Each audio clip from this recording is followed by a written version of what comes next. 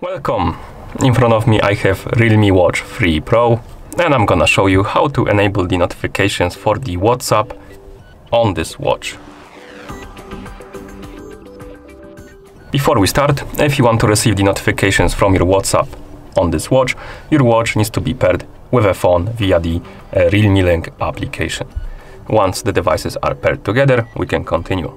And now we can open the Realme Link application on our phone that is paired with our watch.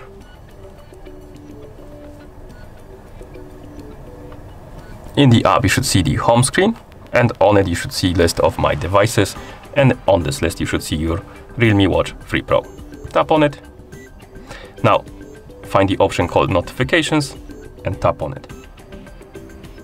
If you get this pop-up right here, you, this means you need uh, permissions to use the notifications, so tap on Got it, allow the required permissions, and then tap on Settings. This will redirect you to the uh, page where you can allow the notification access for the applications. Now scroll down, find the Realme Link application, tap on it, and tap on the switch next to allow notification access, and tap on allow to allow it.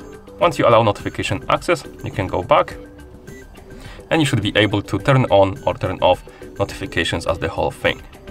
Once you're able to turn on and turn off notifications, turn them on and scroll down through the list of apps.